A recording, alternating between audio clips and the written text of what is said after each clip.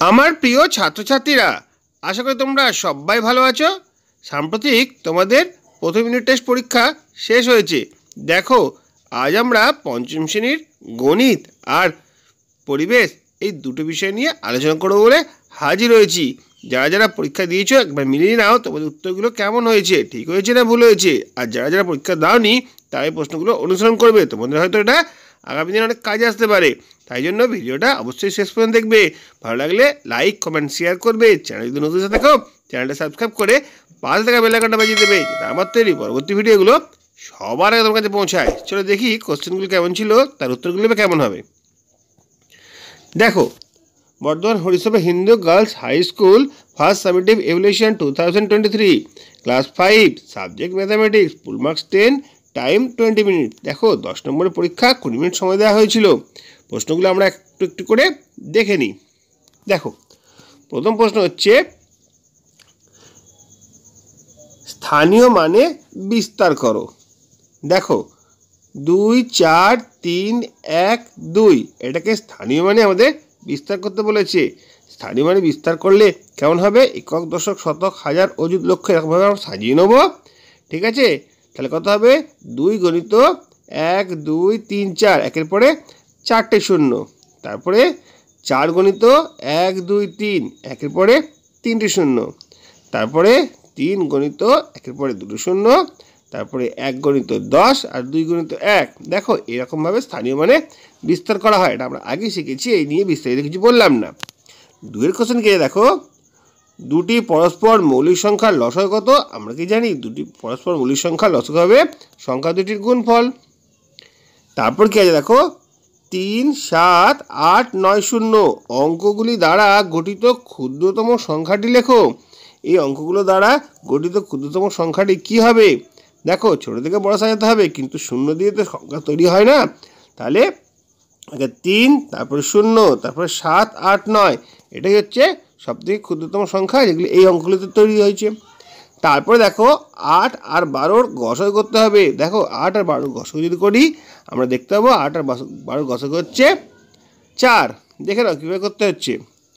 তারপরে দেখো, চুয়াত্তর হাজার দুশো পঁচাত্তর দিনে কত বছর কত দিন হয়? দেখো, দিন থেকে বছর করতে গেলে আমরা কী শিখেছি? একটুখানি ভালো করে আমরা বুঝে নেব। প্রথমে জানতে হবে দিন লিখব, এদিকে বছর লিখব। এদের মধ্যে প্রথমে জানতে হবে সম্পর্কটা কী? আমরা কি জানি তিনশো পঁয়ষট্টি দিনে এক বছর। দেখো, তিনশো পঁয়ষট্টি দিকে এক ছোট হয়েছে, তাহলে কী জেনেছিলাম? ভাগ করতে হবে, তাহলে এই সংখ্যাটাকে তিনশো পঁয়ষট্টি দিয়ে ভাগ করতে হবে। বোঝা গেল? এবার ভাগটা করে নেব, ভাগটা করে দেখতে পাবো যেটা ভাগ ফল এসছে, সেটা হবে বছর, যেটা পড়ে রয়েছে, সেটা হবে দিন। ঠিক আছে? দেখো, এরকমভাবে অঙ্কগুলো আমাদের শিখতে হবে। বেশ, এরপরে আমরা পরে অঙ্কে চলে যাচ্ছি। দেখব কি আছে? তিনটি ঘণ্টা একসাথে বাজার পর যথাক্রমে পনেরো, কুড়ি, পঁচিশ সেকেন্ড অন্তর বাজে। কতক্ষণ পর ঘন্টাগুলি আবার একসঙ্গে বাজবে? এটা কি করতে হবে আমরা বলতো? এটা পনেরো, কুড়ি, পঁচিশের লসয় করতে হবে। দেখে নাও লসয় করলে কত উত্তর হয়? পনেরো, কুড়ি, পঁচিশের লসয় করলে আমরা দেখতে পাবো তিনশো হয়েছে। তাহলে তিনশো সেকেন্ড পর আবার ঘন্টাটা বাজবে। কিন্তু তিনশো সেকেন্ড তো আমরা বলি না। ষাট সেকেন্ডে বেশি হয়ে গেলে সেটাকে এক মিনিট বলা হয়। তাহলে ষাট দিয়ে ভাগ করে দেবো তিন তিনশোকে যদি ষাট দিয়ে ভাগ করি, কি হবে? পাঁচ। তাই তো? তাহলে পাঁচ মিনিট পর আবার ঘন্টাগুলো আবার একসঙ্গে বাজবে। দেখো, খুব সোজা সোজা অঙ্কগুলো তোমাদের সামনে হাজির করলাম। সহজভাবে বুঝিয়ে দেওয়ার চেষ্টা করেছি। আশা করি কোথাও সমস্যা হবে না। যদি কোনো সমস্যা থাকে, আমাকে অবশ্যই কমেন্ট বক্সে কমেন্ট করে জানাবে। এরপর আমরা চলে আসব পরের পড়ায়। পরের পরীক্ষা আছে। দেখো আমাদের পরিবেশ। ওই Bardhaman Harisabha Hindu girls high school, first summative evaluation two thousand twenty three, class five, subject আমাদের পরিবেশ, ফুল মার্কস টেন, ওই একই রকম, দশ নম্বরের পরীক্ষা, কুড়ি মিনিট সময়। দেখো, এখানে বেশ কিছু শূন্যস্থান পূরণ দিয়েছে আর এমসিকিউ দিয়েছে।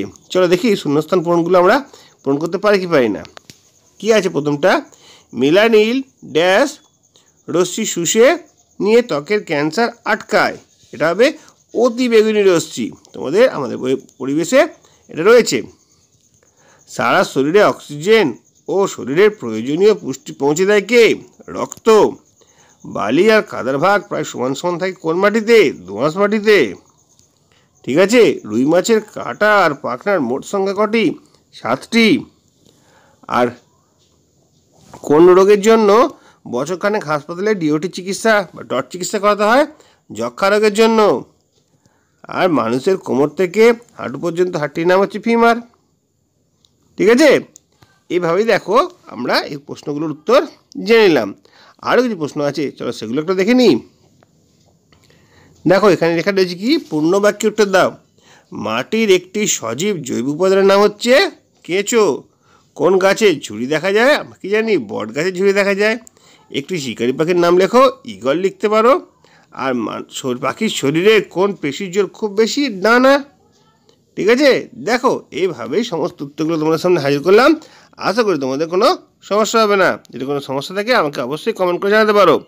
আজকে ভিডিও এখানেই শেষ করছি। যদি ভালো লাগে লাইক কমেন্ট শেয়ার করবে। চ্যানেল যদি নতুন থাকো চ্যানেলটা সাবস্ক্রাইব করে পাঁচ টাকা বেল আইকনটা বাজিয়ে দেবে, যেটা আমার তৈরি পরবর্তী ভিডিওগুলো সবার আগে তোমার কাছে পৌঁছায়।